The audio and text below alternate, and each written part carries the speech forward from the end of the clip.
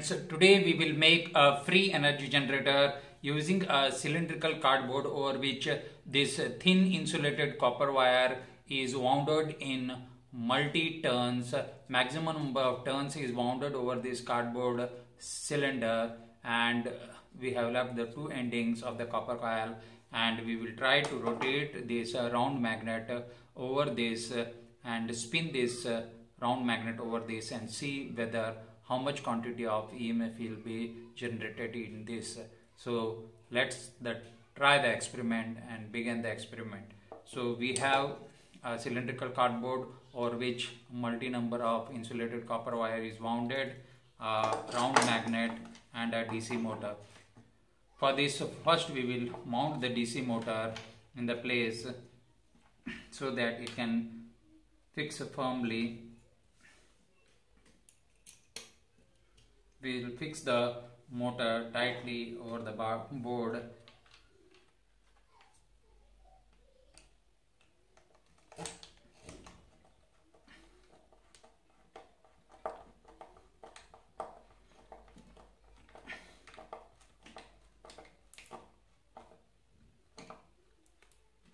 Once the motor is been fixed now we will mount the round magnet over the shaft of the motor and see that this round magnet is free to rotate. Once it is been fixed next we will take a stand like this over which we can mount a cardboard. We have fixed two sided tape in the base of this and now we will mount this cardboard over which we have wounded a thin insulated copper wire over this so that it can fix firmly over this. So we have mounted this. Now we will keep this under the base of the magnet. So once the coil is kept under the base of the magnet and the magnet is made to move over this coil and the endings of the copper coil we will connect it with the two point terminals so for that we will remove the insulation of the copper coil and connect it with the two terminals. So slowly remove the insulation of the, both the copper endings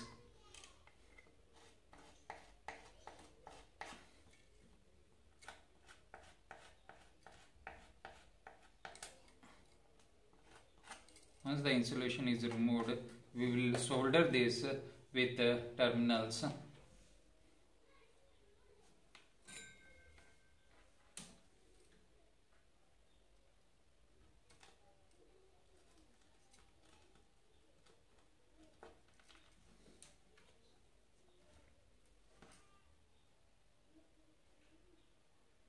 Paste the solder wire over the insulated copper wire and we will solder it with the terminal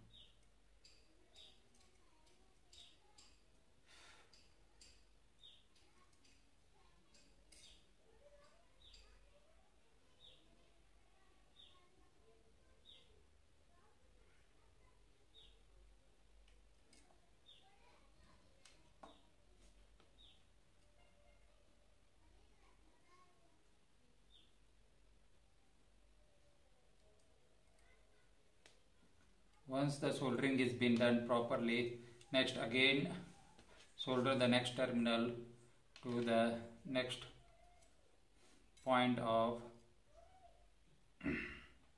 the terminal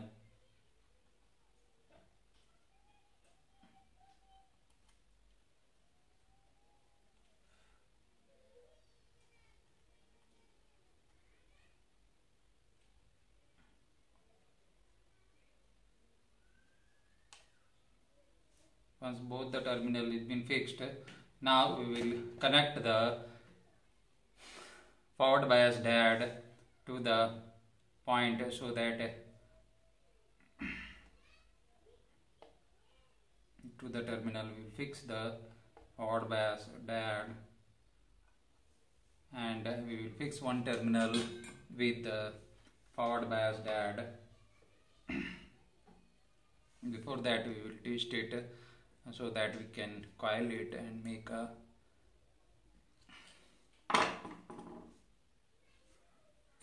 we'll connect it with the forward bias diode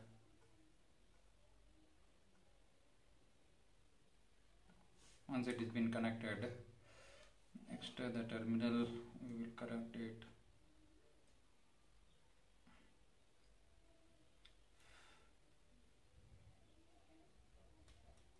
so once it is been connected to the coil next again we will connect the another coil to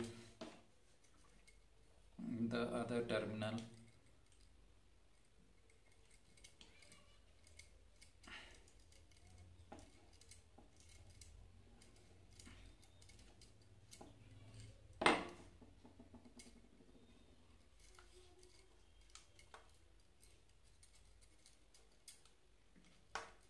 so we'll connect the other coil to the other terminal and solder it to the next terminal.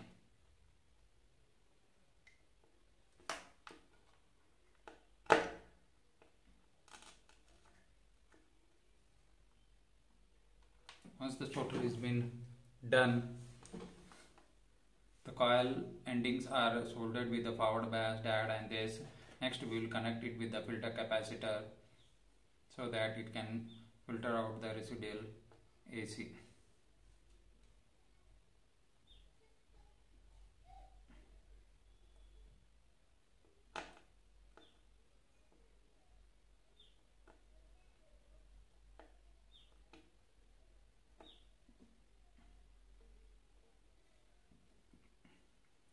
Once it is been connected next we will connect the, the terminals of the DC motor with the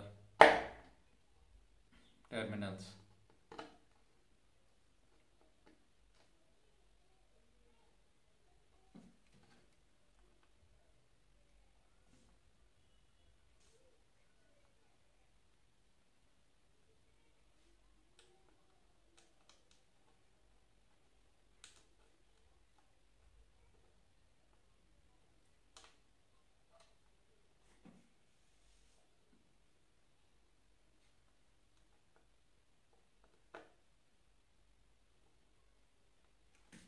so we have completed the connections here.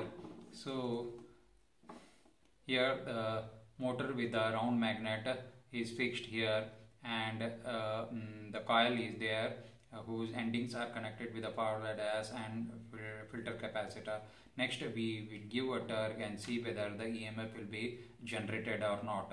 And how much quantity uh, EMF will be generated we can check with, with the multimeter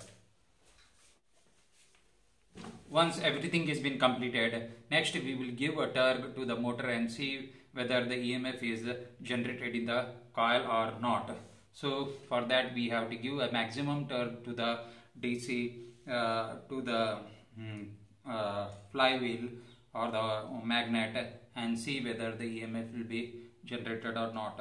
For that we have to give a maximum turg to the uh, uh to the magnet and see whether EMF is generated or not.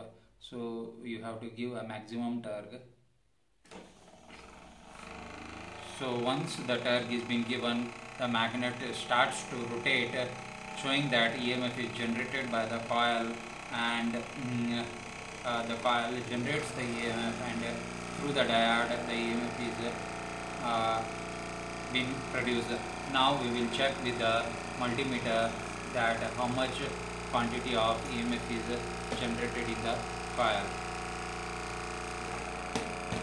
We have kept the uh, voltage range to 20 volt range and see that how much quantity of EMF is generated. So here 3. 3.46 nearly 3.46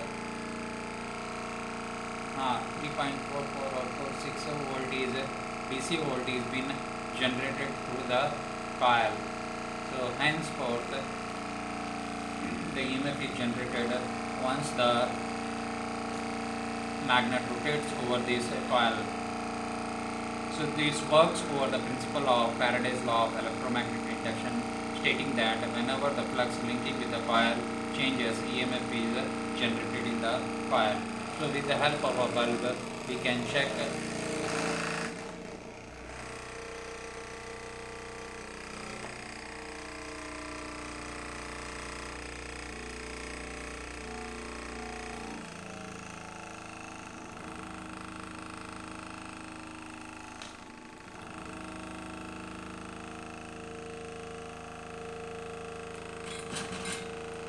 Bulb is glowing showing that EMF is generated in the coil whenever the magnet rotates over the insulated copper wire a maximum flux is linking with the coil and EMF is generated in the coil.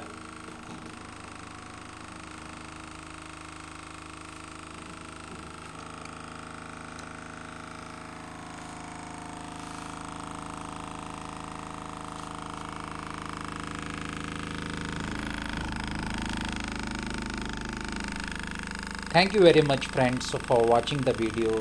Please subscribe the channel so that whenever I create such videos a notification arrives you. Once again thank you very much. Please don't forget to subscribe the channel. Thank you very much.